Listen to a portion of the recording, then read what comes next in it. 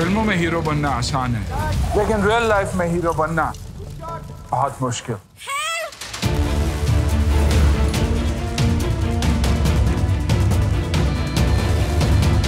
अब आ गया throw India का पहला impact activated fire fighter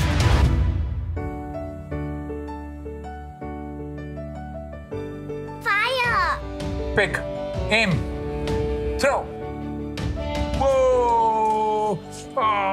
अब हर घर में fire fighter bring home throw your personal fire fighter